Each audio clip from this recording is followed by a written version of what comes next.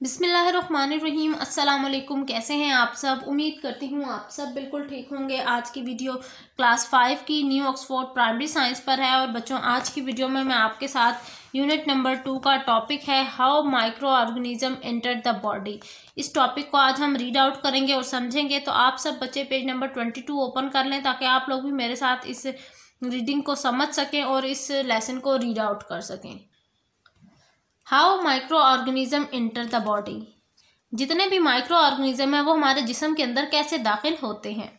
Micro organism can enter the body through the nose mouth when you breathe eat और drink ज़्यादातर जितने भी micro organism हैं, वो हमारी बॉडी के अंदर किस तरह से एंटर होते हैं?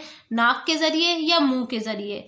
नाक के ज़रिए जब हम सांस ले रहे होते हैं और मुँह के ज़रिए जब हम कुछ खा रहे होते हैं या कुछ पी रहे होते हैं when micro organism enter the body they can cause disease जब भी कोई माइक्रो ऑर्गेनिज्म हमारे जिसम के अंदर दाखिल हो जाता है तो उस टाइम वो उसके रिज़ल्ट में क्या होता है? हम बीमार हो जाते हैं, हमें कोई बीमारी लग जाती है। Disease is often spread through coughing spitting और स्नोसिंग वो कह रहे हैं, ये जो बीमारी है, या ये फैल सकती है छींकने के ज़रिए, खांसने के ज़रिए? Two example of diseases that spread like this are the viruses that cause the common cold and and measles वो कह रहे हैं, अगर हम दो बीमारियों की मिसाल दें, जैसे कि ठंड लग जाना, कोल्ड हो जाना, बुखार हो जाना, ये मीजल्स का की बीमारी, ये जो है, ये एक वायरस के थ्रू फैलती है और ये वायरस है जिसकी वजह से ये बीमारी दोनों होती हैं।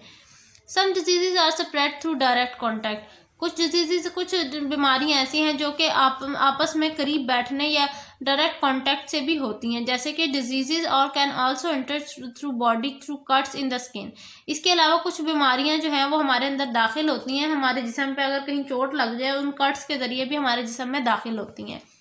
Insects to pass on diseases to human इसके अलावा जो कीड़े मकोड़े हैं, वो भी बाज़ात बीमारी का सबब बनते हैं इंसानों में। Insects pass on harmful germs by biting humans और फीडिंग ऑन देयर ब्लड वो कह रहे हैं कि ये जो छोटे कीड़े मकोड़े हैं, ये कभी कभार जब आपको काटते हैं तो उसके रिज़ल्ट में क्या होता है, ये आपका बॉडी से खून सक कर लेते हैं और जहर जो है, ये जो हार्मफुल जर्म है, वो आपकी बॉडी के अंदर चला जाता है। The bite of female mosquito can cause malaria जैसे कि एग्जांपल इन्होंने दी है कि जब हम लोगों को मच्छर काटता है, वो भी फीमेल मॉस्किटो काटती है तो तब क्या होता है, उसके रिज़ल्ट में हम किस डिज़ीज़ में मुबतला हो जाते हैं मलेरिया में।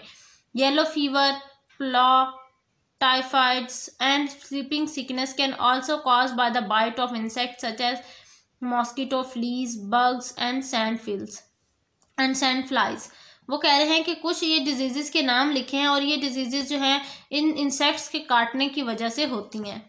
Infection can also caused by different type of worms infection जो है, जब अक्सर हम कहते हैं कि हमारे बॉडी में कहीं किसी स्पेसिफिक ऑर्गन में इन्फेक्शन हो गया, वो इन्फेक्शन भी जो है, एक मुख्तलिफ़ किस्म के जो वॉर्म्स हैं छोटे छोटे कीड़े हैं, उनकी वजह से होता है। For example the hook worm larva can burrow through skin human skin. Once it is entered the skin, it can get into stream it is then carried to other part of the body in the blood. वो कह रहे हैं, एक वो कीड़े का नाम लिया है, जिसका नाम है हॉक वॉर्म लार्वा।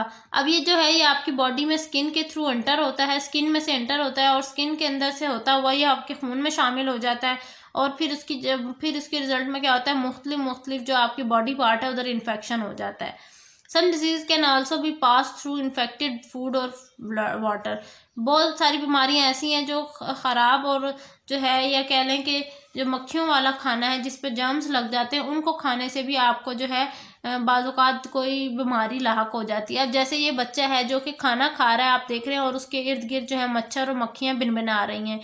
तो अब क्या हो रहा है डायरेक्टली वो जो जो फ़ूड खाएगा, उस फ़ूड में जर्म्स हैं, और जो जो जर्म्स हैं, वो उसकी बॉडी के अंदर इस तरह से एंटर हो जाएँगे। मोर ओवर ये देखिए, अब ये बच्चा पानी पी रहा है और ये दूसरी पिक्चर में जो पानी पी रहा है, इस पानी के अंदर काफ़ी सारे जर्म्स मौजूद हैं। अब जो ये जो जर्म्स हैं, या आपकी बॉडी के, इस बच्चे के बॉडी के अंदर जाएँगे या फिर उसे कॉलरा हो जाएगा या फिर उसे टाइफाइड की बीमारी लाक हो जाएगी। तो ये थी मेरी आज की वीडियो इंशाल्लाह नेक्स्ट वीडियो में आपके साथ पेज नंबर ट्वेंटी थ्री की जो रीडिंग है, वो शेयर करूँगी। मिलती हूँ नेक्स्ट वीडियो में। अपना बहुत सारा ख्याल रखिएगा। मुझे दुआओं में याद रखिएगा। अल्लाह हाफिज़।